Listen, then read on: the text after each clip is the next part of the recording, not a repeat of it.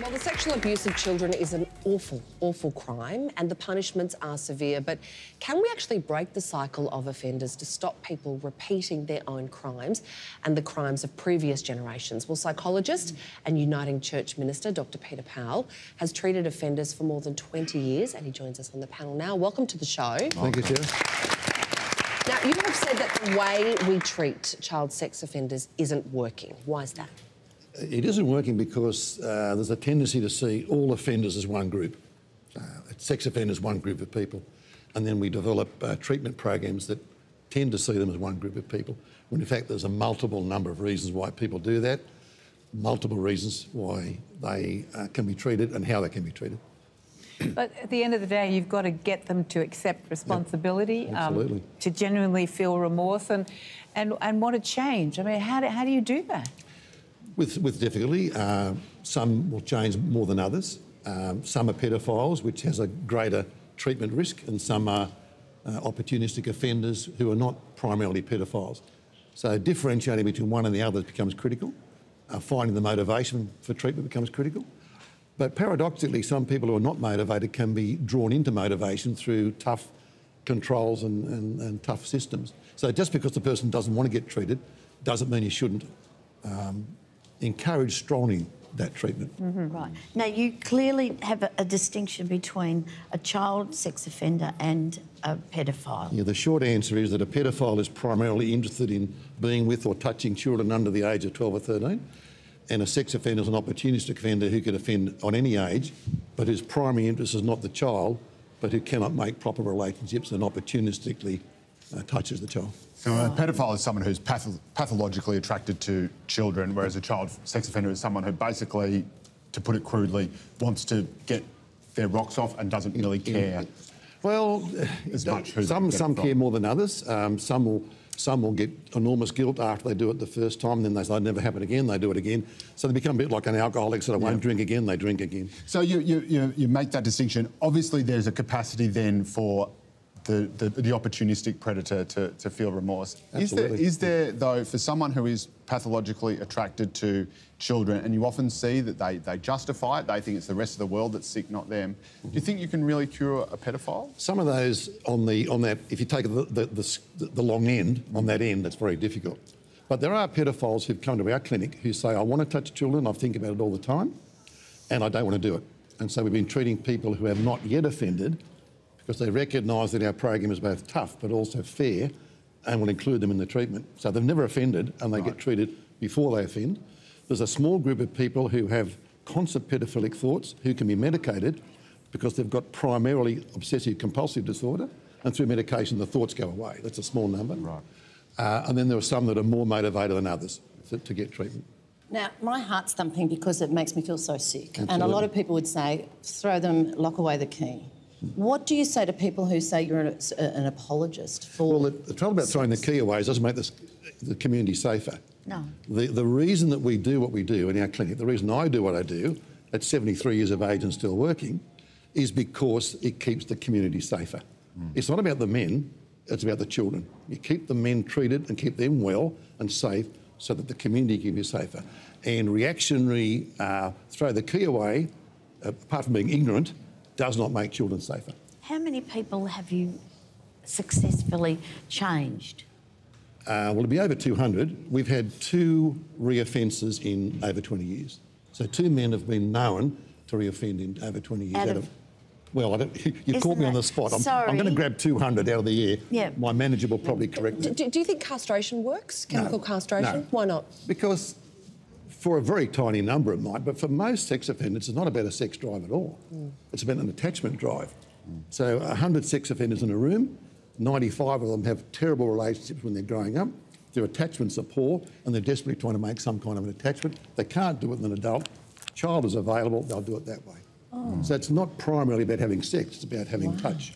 Um, and, and I suppose you've also hinted at that, but the, the complex nature of it, the fact that the uh, offender is uh, almost always known to the victim, that they have a pre-existing relationship, and that sometimes, and, and this is what I think courts often fail to see, but that the victim can willingly um, go to the perpetrator or go along with what the perpetrator manipulates them into doing. Um, you know something about that? Tell us about that. Yes, I'd take the word willing, willing out. No, Children. obviously. But um, that certainly the, the adult can shape the environment so the child recognises that's what I'm meant to do. Yeah. So I've got episodes of 15 year old teenagers, you'd think that might have a little bit more strength, who will willingly take their clothes off and initiate sex with the father because he has already groomed, prepared them. That's what they're meant to do. Uh, children are amazingly malleable by powerful people. and, and then and, and, and, and through that, and this is just turns the stomach, but are, are willing to, to to meet the perpetrator. They'll meet the perpetrator's needs. They'll, when I was abused as a child, I was going to ask you. You Yeah, were abused as a child. I was abused child. as a child. I would get on the train and go back constantly to the person abusing me because without a father figure, without uh, people around me, that's where I got attachment. And that's where you've got an understanding of what you're doing. Exactly. Uh, can, What- is it, oh, sorry, sorry. is it something you can, you're saying you're tw- 73. Yeah. Is it something you are able to teach other people? Because it seems to me like there needs to be about 20 of you. We are, we're training people as we speak. We have two Right. interns at the moment But two coming up the interns, not enough. Oh, I, I could employ 100 people, but there's no funding because this is not a topic that people want to fund. No funding, and you, you're saying they are able to be Yes. rehabilitated, Yes. And there's no funding for this. And what's the biggest mm. problem in Australia?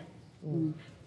Pedophiles and child sex offenders, and we haven't got enough money for it to fix it. Mm. You've got to be joking. Can I ask you something? And, and you said you were abused as well. What what are the cha- what are the stats on uh, abusers having been abused themselves? There, there, there is some correlation, but it's a very weak one. Is it? So Right, just because okay. someone has been offended against does not mean they'll go on and offend. What, one of the bigger risks is if they begin offending as an adolescence. Mm.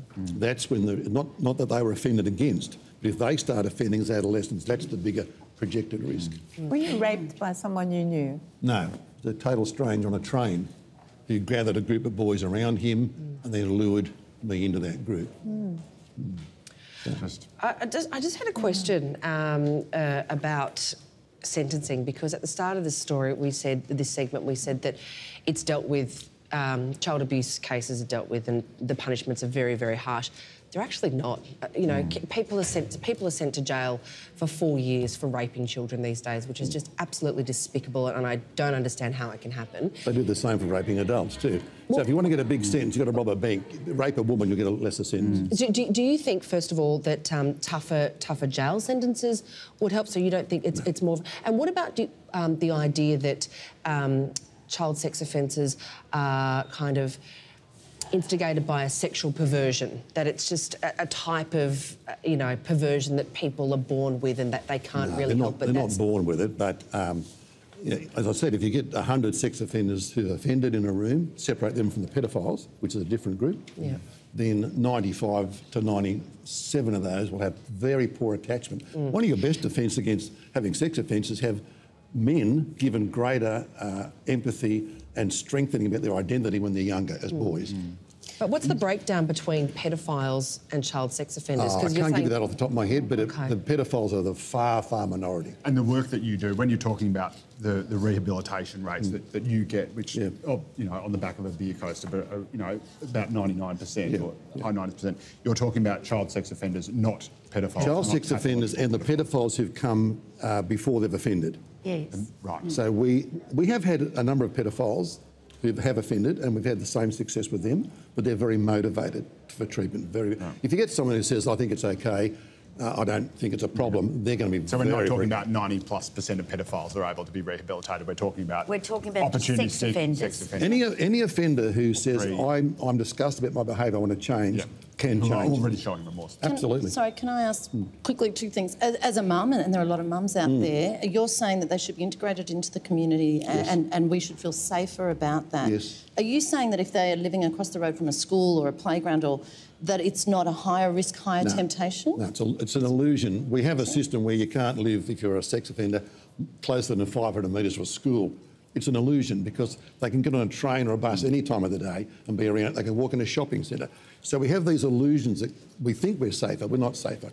We're safer with strong controls, strong parole conditions, and good treatment over long periods of time.